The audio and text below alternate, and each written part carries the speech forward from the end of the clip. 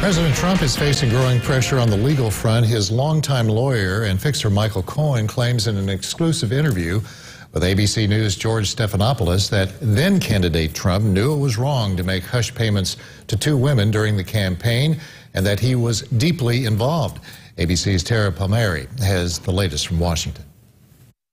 Michael Cohen striking back against President Trump for claiming that he struck a plea deal to protect his family and embarrass the president, Here's telling ABC's George Stephanopoulos. The people of the United States of America, the people of the world, don't believe what he's saying. The president's longtime fixer and lawyer sentenced to three years in prison for what the judge called a smorgasbord of financial and campaign finance crimes, including facilitating payments to porn star Stormy Daniels and Playboy playmate Karen McDougal months before the 2016 election. Cohen and prosecutors say Trump directed him to make those payments. But Cohen says he doesn't want to go down in history as a villain. You lied for him for a long time.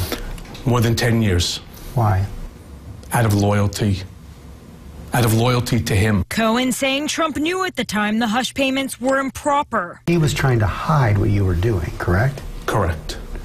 And he knew it was wrong? Of course. Cohen claims then candidate Trump was deeply involved in a deal struck with AMI CEO and National Enquirer publisher David Pecker to buy and bury McDougal's story about an alleged affair.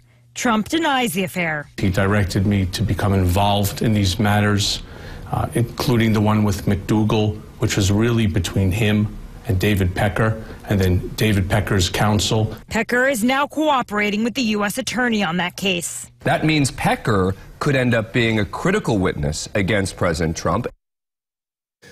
And we'll continue to watch for developments.